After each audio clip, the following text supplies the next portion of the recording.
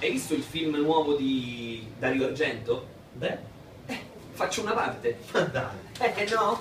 bella quella parte. Faccio una parte anche abbastanza importante, insomma, non dico che sono il protagonista, però insomma una parte piuttosto importante. Eh, Ma hai visto quando per esempio si aprono le finestre?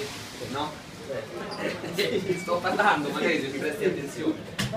Niente, praticamente quando si aprono le finestre e senti quel rumore, visto? Io sto lì. ma davvero. No?